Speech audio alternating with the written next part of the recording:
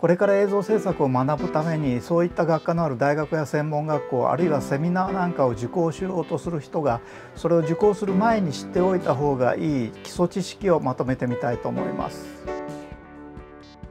それらの映像制作のための講座の講師はほとんどが現場経験の豊富なプロフェッショナルです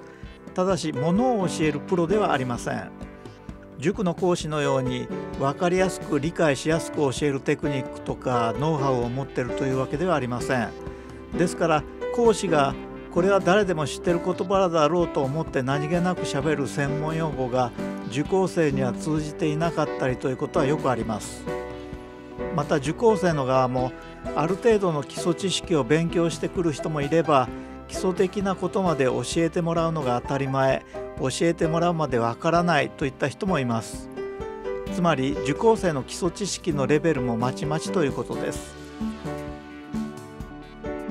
これは教える側の勝手な思いかもしれませんけども映像制作を学ぶとであればこの程度の基礎知識は持っておいてほしいということがいくつかあります。それをまとめてみました。こういう項目です。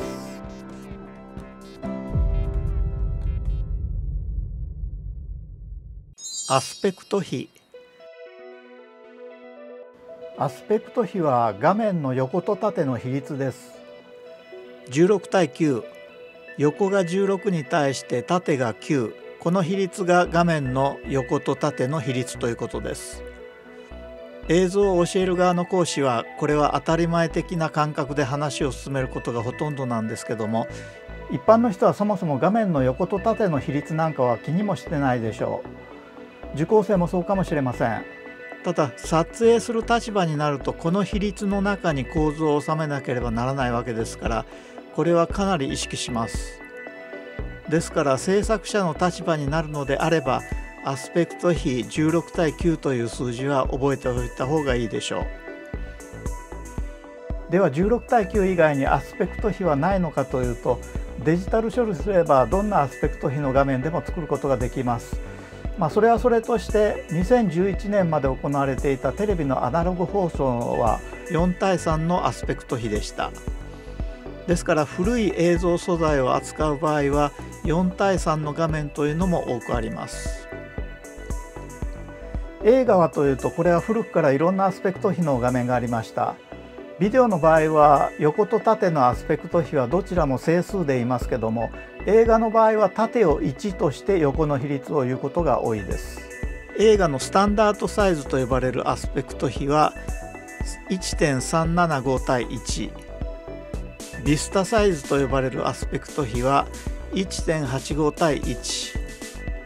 スコープサイズと呼ばれるアスペクト比は2.35対1これが基本的な画面サイズです。とりあえず映画の画面サイズまで覚える必要はありませんがビデオの16対9だけは覚えておいてください。最近は TikTok なんかの縦画面もありますがこれも16対9を縦にして9対16ということです。HD とか 4K も映像を教える講師はよく使う言葉です。ただこれも受講生がどれだけ意味を理解しているかは疑問です。HD や 4K は一般の人も聞いたことのある言葉でかもしれませんけども意外と意味を知らない人は多いです。これも業界人なら当たり前で受講生は謎の言葉の代表格ですね。HD はハイディファニッションの略称ですね。要するに高品位とか高品質ということですけども一般的にはハイビジョンという言い方の方が通りがいいかもしれません。地上波のテレビは2011年までアナログ放送だったわけですけどもその時の企画は先ほどのアスペクト比は4対3でかつ現在のビデオより画素数の少ないものでした。画素というのはビデオの画面を拡大すると一つ一つの点の集まりだということが分かります。この点が細かいほど鮮明な画像になるということです。アナログ放送時代はこの画素数は横が640ピクセル縦が480ピクセルでした。ピクセルというのは点の意味ですね。つまり横が640の点で縦が480の点で構成されているということです。この画素数の画面を SD つまりスタンダードディファニッションと言います。それに対して現在のテレビは横が1920ピクセル縦が1080ピクセルです。先ほどの SD より画素数が多く鮮明な画面だからハイディファニッションつまり HD というわけです。この HD が現在のテレビ放送やブルーレイまたはネット配信なんかの標準的な画面ということなんですけどもさらに高精細な 4K というものもあります。これは横3840ピクセル縦2160ピクセルの画素で構成された画面です。なぜ 4K なのかということなんですけども K はキログラムと同じく1000の単位を表します。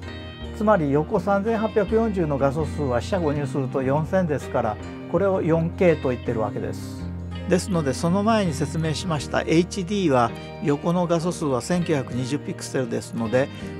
これも四捨五入して 2K ということになります。さらに高画質の 8K も実用化していてビデオ画面の高画質化はどんどん進んでいるという感じです。細かい数字まで覚える必要はありませんけども HD や 4K の意味は理解しておいてください。フレームレートという言葉は一般的には馴染みのない言葉だと思います。しかし映像制作の授業をやるとこれも講師からは普通に出てくる言葉ではないかと思います。動画は一枚一枚の静止画を連続して映して目の残像現象によって動く絵つまり動画に見えるわけですけども。その一枚一枚の絵が1秒に何枚で構成されているかということがフレームレートです。通常のビデオは1秒30枚の静止画で構成されていてこれを 30fps と言います。そして映画は1秒24枚の静止画で構成されていてこれは 24fps ですね。実際には29.97とか23.98とか細かい数値は出てくるんですけどもとりあえずフレームレートは30と24という数字を覚えておいてください。30と24以外のフレームレート例えば 60fps とか 120fps なんかもありますし。古いフィルムだったら 16fps とか 18fps というのもありますけどもたくさんの数字を覚える必要はありませんから30と24これだけ覚えておいてください。画面サイズの呼び方ですけどもこれは映像制作の授業で最初に習うことになるでしょうこのチャンネルでも画面サイズの呼び方を解説した動画をアップしていますのでご覧ください。ロングショットフルショットニーショットウエストショットバストショットアップショットクローズアップ。こんな呼び方ですけどもこの程度のことは事前に覚えておいた方がスムーズに授業についていけるでしょう。シーンとカットこの違い分かりますか？おそらく講師はこれくらいは分かっているだろうという意識で話を進めると思うんですけども一般の人はシーンとカットをごちゃ混ぜに理解している人も多いというかほとんどの人は分かってないというのが現状です。ではシーンとは何か？例えばこのシナリオを見てください。四角で囲った文字がシーンです。20住宅街の道とありますけどもここからここまでが一つの場所で展開される話です。これをシーンと呼びます。場所が変わればシーンが変わったということになります。ではカットとは何かシーンをいくつの映像で構成するかということです。一つのシーンを一つのカットだけで構成するということも当然あります。しかし多くの場合は一つのシーンはいくつかのカットに分割されます。このシナリオで見てみましょ